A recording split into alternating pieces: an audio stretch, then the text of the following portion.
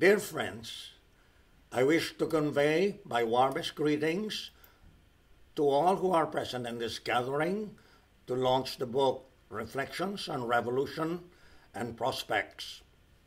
I thank all of you for coming.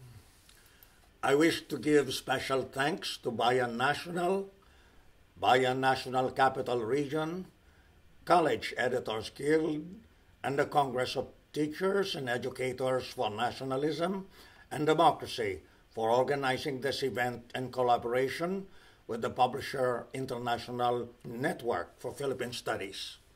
I also wish to give special thanks to Professor Sani San Juan, who wrote the foreword to the book, and to the distinguished book reviewers, Professor Bobby Tuazon and Professor Larissa May Suarez of the UP Department of English and Comparative Liter- Literature and former editor in chief of the UP Philippine Collegian.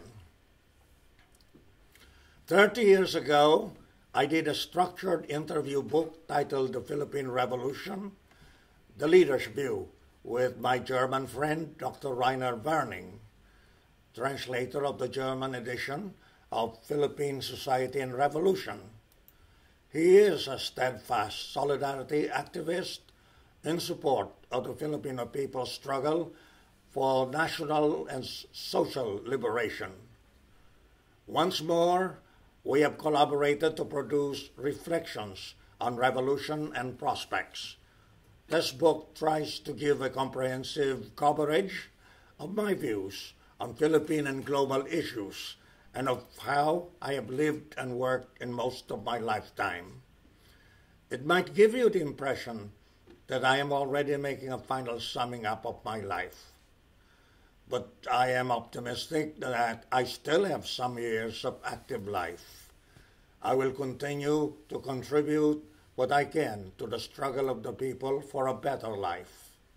I intend to see the end of the Duterte tyranny, the continuing advance of the new democratic revolution in the Philippines, and the resurgence of the world proletarian revolution against imperialism and all reaction.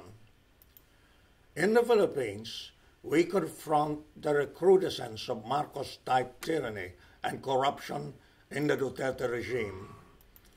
This manifests the continuous decomposition of the semi colonial and semi feudal ruling system. Once more, an unabashedly bloodthirsty regime of terror and greed is driving the people to wage armed revolution. At the same time in the world, we are in transition to the resurgence of anti imperialist struggles and the world proletarian revolution.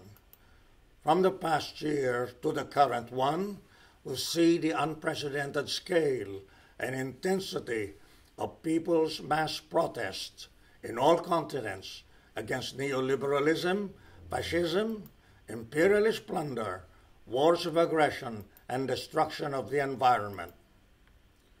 I hope that you enjoy this book launch as an occasion to be with friends who have a common interest in the Filipino people's struggle for full national independence, democracy, social justice, all round development, and just peace, as well as in the struggle of all peoples of the world for a better future of greater freedom, democracy, and socialism. Thank you.